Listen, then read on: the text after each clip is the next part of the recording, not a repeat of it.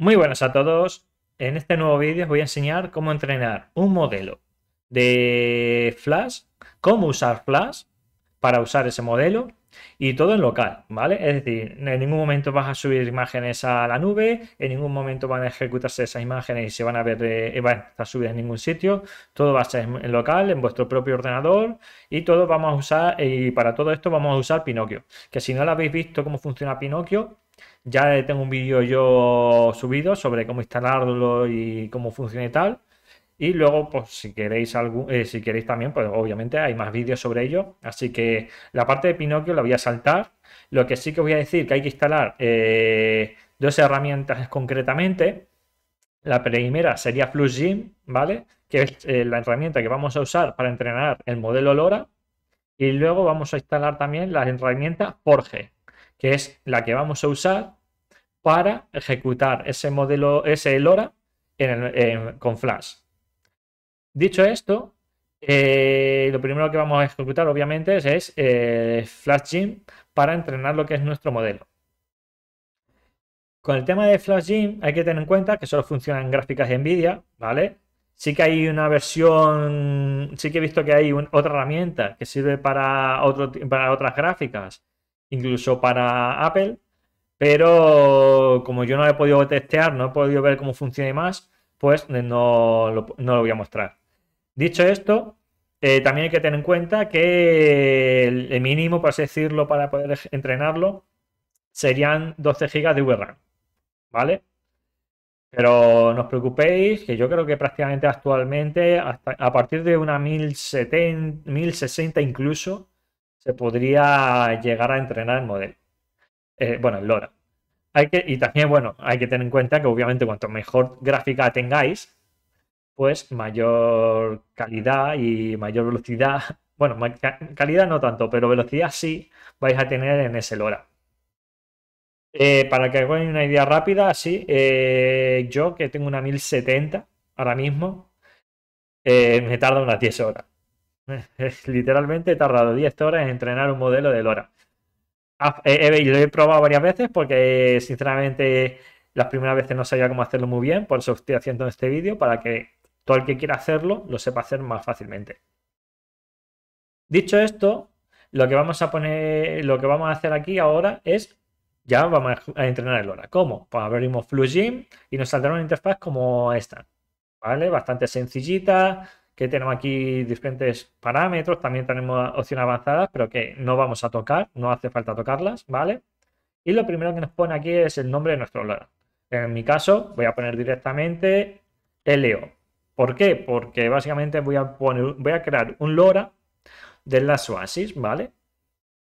Entonces, luego debajo nos pone el trigger word o, sentence. Básicamente es la palabra o frase que queréis que active este LoRa. Eh, en mi caso, y bueno, en vuestro caso también, y, a todo el mundo les recomiendo que sea solamente una palabra, una única palabra, y que no sea obvia. Es decir, y no sea tan común. Es decir, algo que no pongáis silla, mesa, no pongáis algo que es muy común y que ya, por así decirlo, Flash sabrá lo que es. Poner vuestro nick, si es, es un LoRa de vuestra mascota, pues el nombre de la mascota, si es hora de una persona, pues el, nombre o las siglas de, ese, eh, eh, de, de esa persona, ¿vale? No pongáis algo muy largo ni que muy común, porque si no va a jorobar a la hora de luego eh, ver que si funciona y, mejor, y ver cómo funciona. Yo, por ejemplo, como va a ser de las Oasis, le voy a poner last y no, lo voy a poner así, así. Mejor con un 0. Así, ya está. Lo has. Con un 0. Luego, en el overrun, con 12 nos sobra. Yo he probado con 12 y va bastante bien. No hace falta mucho más. Si queréis luego mejorarlo y probar con más, adelante. Pero os recomiendo que inicialmente uséis 12 gigas.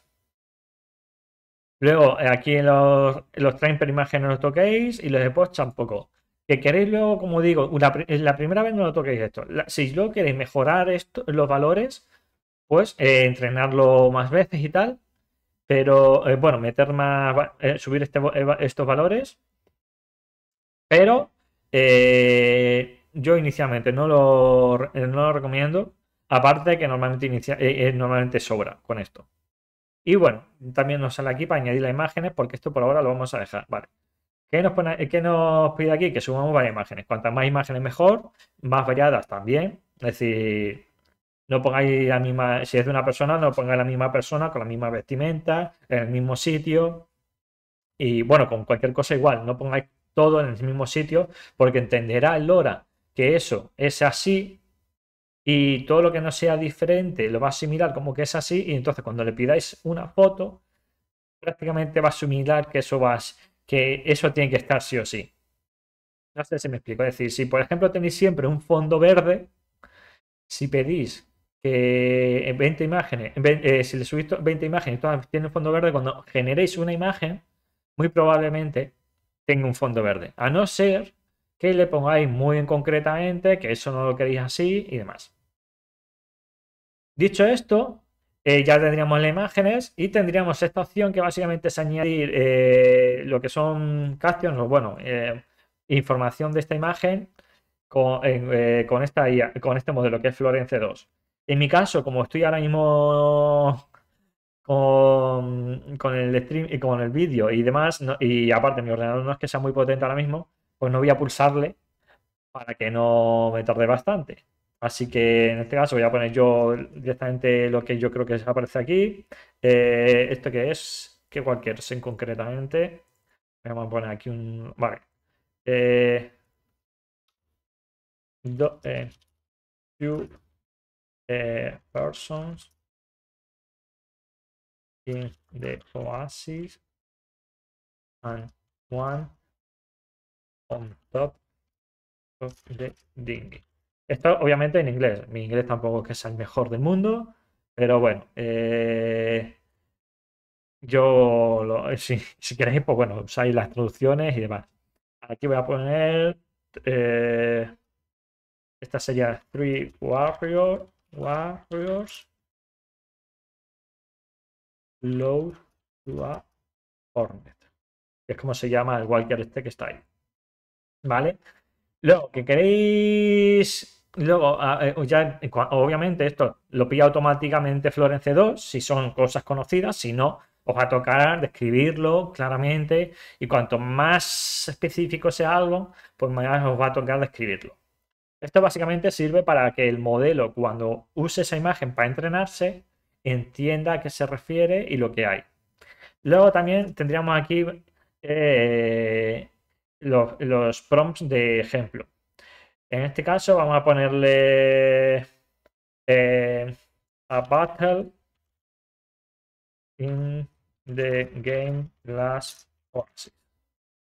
Luego vamos a poner otra, otra, otra línea. Eh, capture from the game last Oasis. ¿Vale? Cuando también, también cuanto más líneas pongáis, pues mejor.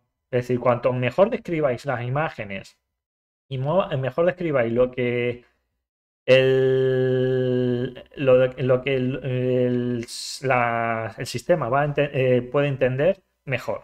Porque esto va a ayudar a que básicamente el LoRa esté mejor entrenado. Dicho esto, ya solo nos quedaría dar a Start Training. ¿Vale? No le voy a pulsar porque se va a tirar bastante tiempo, incluso con estos steps. A mí me tarda bastante, pero que bastante. Vamos a, pongamos que me tarda unos una hora por cada 100, más o menos. Y eh, bueno, hay que tener también en cuenta que en mi caso he hecho ahora mismo algo que está muy mal, por así decirlo, y es que he puesto las imágenes en diferentes formatos y con un tamaño de pantalla muy diferente. son Full HD, si no recuerdo mal. Entonces, esto tampoco se recomienda. Para mejorar la calidad del modelo, lo que más se recomienda, o por lo menos eso he estado leyendo, es que las imágenes sean PNG y que sean 1024 x 1024 en formato cuadrado. De todos modos, eh, el sistema automáticamente las, pasa y las, y las redimensiona. Pero para que os, quite ese, ese tema y que también la imagen no se desconfigure, por así decirlo, es mejor que lo hagáis vosotros directamente y ya se lo subís subido. Bueno, se lo subís ya configurado. Dicho esto, ya una vez tengamos creado el LoRa y esto se ejecutará y tal, os voy a enseñar eh, básicamente eh, lo que nos saldría. ¿Vale? Os voy enseñar aquí la pantallita. Vale. Tendríamos esto de aquí, que básicamente en mi caso me salieron eh, cuatro extensors, que estos los tendríamos que mover a la carpeta de Forge. ¿Vale? Esta carpetita, en mi caso, a ver, la voy a abrir para, para ponerla correctamente y os voy a enseñar cómo se debería ver en Forge. ¿Vale? Un segundito. Aquí lo tendríamos. Eh, eh, eh, esto está, por cierto, esto está, todo se instala dentro de la carpeta de Pinocchio y en la parte de API. Y cada uno, cada herramienta tiene ahí su carpetita. ¿Vale? Aquí está. Aquí está. Vale. Os lo muestro de nuevo para que lo veáis. ¿Vale? En mi caso tengo, bueno, tengo ya bastantes pruebas, como veis he hecho bastantes pruebas. Y bueno, la última que he probado y que mejor me ha funcionado ha sido esta. Y básicamente lo que tenemos que meterlo dentro de la carpeta donde tendríamos subido Forge, creado Forge, en App, Models y donde, la carpeta que pone LoRa.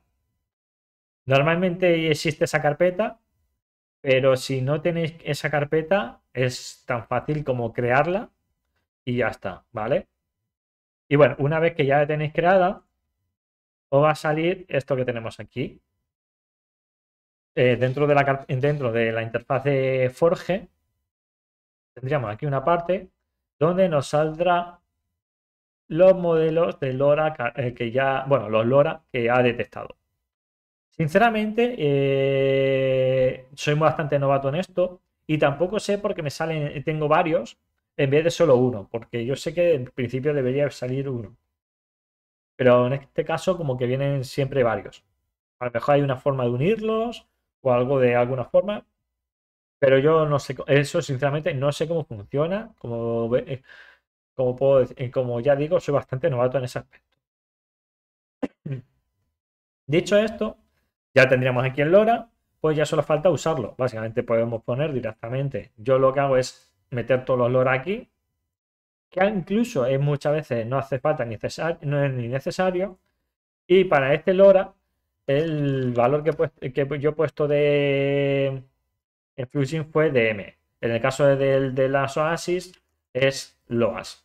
Pues bueno, pondría S de LOAS, pondría lo que quiero que haga, es decir, LOAS eh, ¿Y qué podríamos poner? Por ejemplo,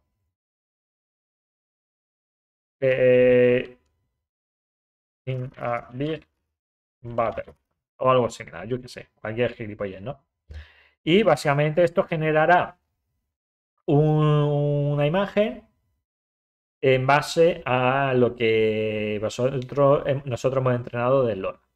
Obviamente, cuando, esto ya aparte, no, tampoco sabemos muy bien cómo manejar Forge, pero cuanto más estilo le pongáis, y luego tenéis aquí opciones para cambiar el style, bueno, vosotros mismos podéis hacer prompt engineering y mejorar el prompt para que sea cuanto más eh, exacto, eh, cuanto más exacto mejor. Como ya he dicho, por ejemplo, si tenéis siempre el fondo verde, cuando había entrenado el modelo, si luego no le decís que ese modelo, que ese fondo sea de otro color, os lo va a pintar muy probablemente siempre de color verde.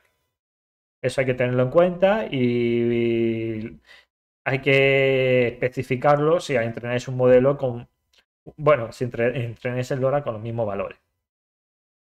Dicho esto, como veis, yo esto lo he hecho totalmente en local, es decir, en ningún momento he subido nada a internet, todo es gratuito porque al fin y al cabo son herramientas que están ejecutándose en tu ordenador y os animo a probarlo, a enredar con ello y que veáis qué tal funciona. Como digo, yo con una 1070 lo he podido hacer, me ha tardado bastante, para, también para generar la imagen en flash me, me tarda bastante, eso es así, pero bueno, todo el que tenga una gráfica mejor o más moderna sobre todo, pues le irá mejor.